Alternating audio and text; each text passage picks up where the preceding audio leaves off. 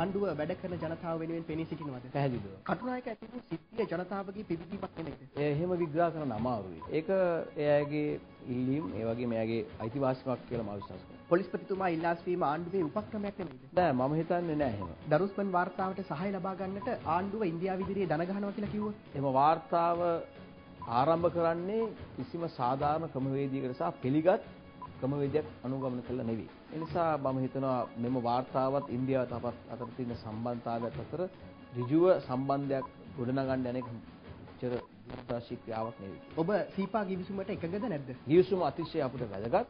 ගිවිසුමක් තිබිය යුතුයි. ඒ අවස්ථාවෙන් ප්‍රයෝජන ගැනීමට අපි බුද්ධිමත්ව ක්‍රියාත්මක වෙමු. ඉන්දියාව මේ උත්සාහ කරන්නේ ලංකාවේ වෙළඳපොළ කොල්ල කණ්ඩද? ඉන්දියාවට අපෙන් තියෙන වාසියට වඩා අපිට ඉන්දියාවේ තියෙන වාසිය වැඩි. අපි බුද්ධිමත්ව ක්‍රියාත්මක වෙමු. හැබැයි දේශීය ව්‍යාපාරිකයින් මීට විරුද්ධයි. හැමෝම නෙවෙයි.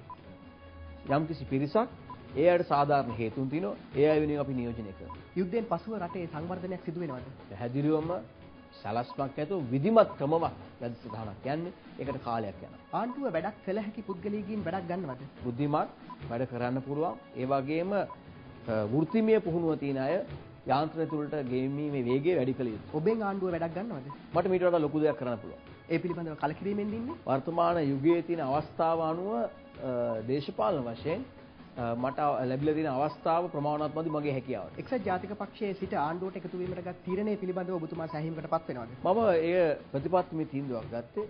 මම මහින්ද රාජපක්ෂ ජනාධිපතිතුමාගේ නායකත්වය සහ ඍජු දැක්මක් එක්ක වැඩ යන වැඩසටහන අගය කරනවා. ඔහු මම නායකයෙක් පිළිගන්නවා. බොහොම හදවතින්ම මම එතුමත් එක්ක ඔහුගේ වැඩපිළිවෙල වැළඳගත්ත කෙනෙක්. මම බොහොම සන්තෝෂයි. ක්‍රිකට් පාලක මණ්ඩල නිලවරණේ පැවැත්වෙයිද? නිලවරණේ පැහැදිලිව තියන්නම ඕනේ. ඔබතුමා ඉදිරිපත් වෙනවද? අනිවාර්යෙන්ම මම ඉදිරිපත් වෙනවා. ජය ගන්නට පුළුවන්ද? පැහැදිලිව.